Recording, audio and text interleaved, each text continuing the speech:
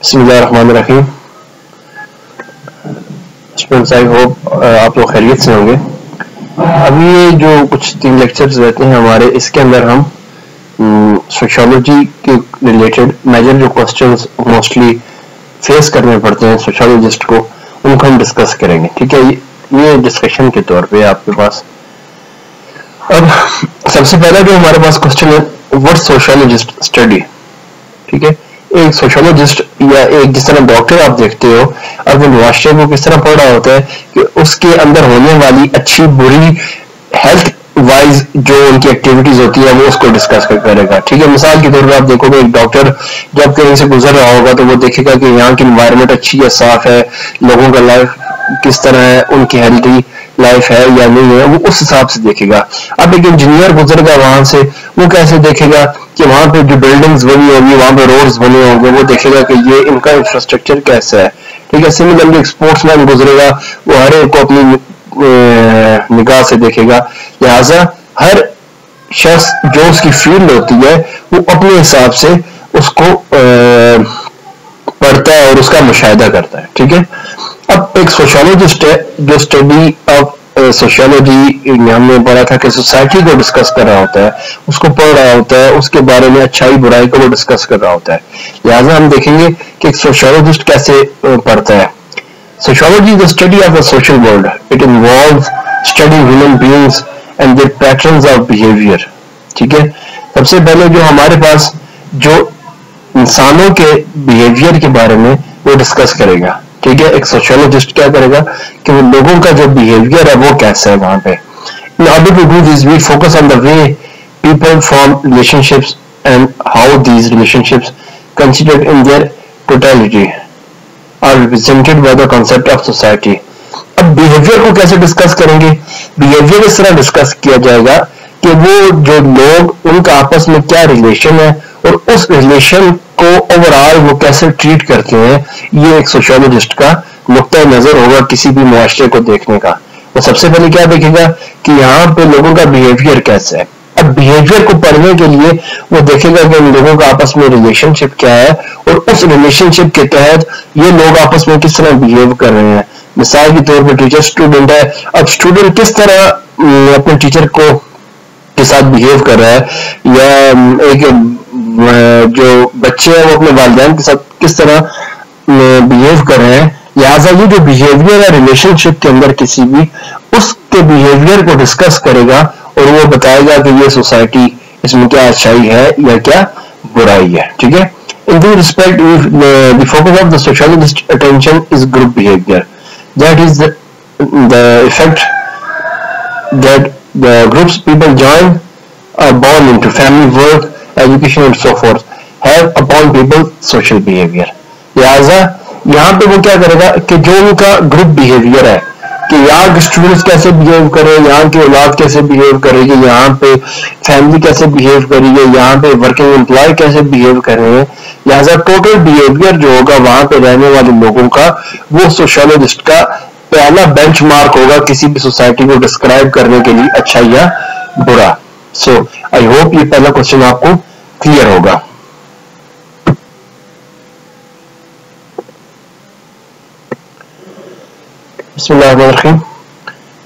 तो इसी तरह अभी हमारे पास जो सेकंड है, उसमें जो सेकंड क्वेश्चन है, वो है how sociologist study the social world कि जो सोशोलॉजिस्ट है, वो सोशल वर्ल्ड को किस तरह डिस्कस करेगा। पहले हमने पहला क्वेश्चन में एड्रेस किया था कि वो एक सोसाइटी को कैसे करता है बेंचमार्क क्या होता है उसके पास उसको मेजर करने का, और अब उसको सोशल वर्ल्ड को कैसे वो डिफाइन करता है। मिसाल के तौर पर पूरी दुनिया है, इसकी जो सोशल सोशल जो नॉर्म्स है वैल्यूज़ है, वो कहाँ पे स्टैंड करेंगे, क्या स्टैंडर्ड है उनका, वो क्या रैंकिंग है उसकी, वो उसको कैसे मेजर करता है, अब हम उसको डिस्कस करेंगे, ठीक है?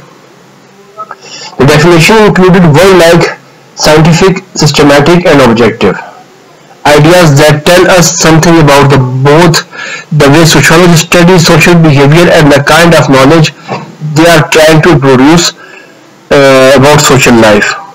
While we will develop these ideas in much greater detail in another part of the course. So we need to note a couple of things about them now. अब एक सोशल लाइफ को पढ़ने के लिए हमारे पास दो कुछ ऐसी जो चीज़ें हैं जिसको पढ़ना हमारे लिए ज़रूरी है।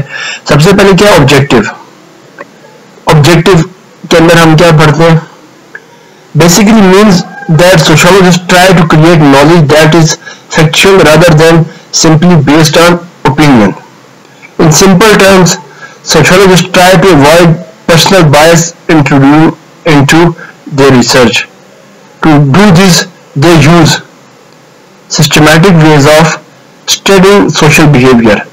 अच्छा सबसे पहले ऑब्जेक्टिव क्या होता है? जो एक सोशोलॉजिस्ट के पास, कि वो जो अपने इल्म के तहत लोगों के फैक्ट्स क्या होते हैं? ठीक है? ओपिनियन नहीं कि राय क्या है? लेकिन वहाँ पे हकीकत क्या है? उस मुआशरे की सबसे पहले वो उसको मैयर करेगा, ठीक है? किसी भी मुआशरे के अंदर दो चीज़ें होती हैं। एक होती है वहाँ की हकीकत और एक है उनकी राय। मिसाल के तौर पे, अब हर शख्स कहेगा अपने बारे में या बींग मुस्लिम, हमारा ये, हमारी संसद की ये राय होगी। हमें क्या करना चाहिए? पाँच वक्त की नमाज़ पढ़नी चाहिए। बींग मुस्लिम, हमारी ये राय है। ठीक है? ये हमारी ओपिनियन है। लेकिन फैक्ट क्या है? हम कितनी दफ़ा पढ़ते हैं दिन में या क्या हमारे बिहेवियर है, ये हमारा फैक्ट है। लिहाजा एक जो सोशोलॉजिस्ट है, वो ओपिनियन को नहीं देखेगा कि इन लोगों की थ्योरी क्या कहती है। वो देखेगा कि इन लोगों का रहने सहने का जो प्रैक्टिकल वे है, वो क्या है, ठीक है? तो इसके लिए वो क्या करेगा? एक सिस्टमैटिक स्टडी करेगा। उसमें वो क्या करेगा? By this is mean that sociologist try to use methods of research question observations, experiments and so forth that are governed by certain rules of evidence. अब इसके लिए वो क्या करेगा कि एक सिस्टमैटिक वे ऑफ़ स्टडी होता है। ठीक है किसी भी चीज़ को ऑब्ज़र्व करने के लिए आपके पास कुछ सिस्टमैटिक वे है। अब वो कौन से यहाँ पर मेंशन किए गए मिसाल के तौर पर आपकी अपनी ऑब्जर्वेशन है। ठीक है? क्वेश्चन है, मुझे आप लोगों के बिहेवियर का नहीं पता। आप तीस लोग हो क्लास के अंदर, लेकिन मुझे ये नहीं पता कि आप दिन में कितनी दफ़ा नमाज़ पढ़ते हो। मैं क्या करूँगा, आप सबसे क्वेश्चन डिस्ट्रीब्यूट करके पूछ लूँगा कि आप लोग दिन में कितनी दफ़ा नमाज़ पढ़ते हो। ठीक है? और एक है कि जो आपकी फैमिली आपके साथ हर वक्त रह रही है, वो खुद ऑब्ज़र्व कर सकती है। ठीक है? और उसके बाद क्या एक्सपेरिमेंट आप कर सकते हो? ये तीन तरीके हैं, या इसके अलावा भी कोई तरीके आपके पास हो सकते हैं, जिससे आप प्रॉपरली एक सिस्टमेटिक वे में अपने जो ऑब्जेक्टिव है उसको नोट कर सको, उसकी एग्जैक्ट जो वहाँ पे फैक्ट है उसको आप काउंट कर सको। So